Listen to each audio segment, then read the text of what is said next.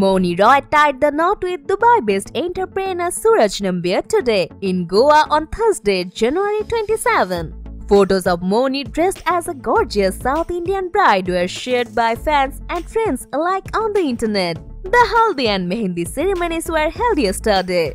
In one photo, Mouni is adorned with gold bangles and is clad in a red and white sari, while Suraj is dressed in a kurta and lungi. In another photo, Suraj Nambiar ties the thali around her neck, while the couple is showered with flowers.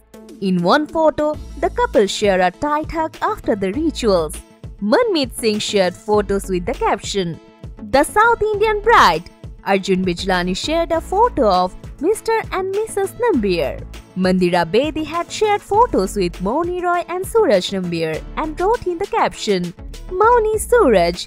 And so it all begins. I love you both more than you know.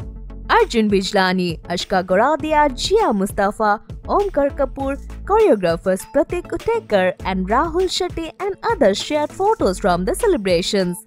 Mouni and Suraj have been dating since 2019. While Mouni Roy is yet to make a statement about her wedding, earlier this week she thanked photographers in Mumbai as they congratulated her.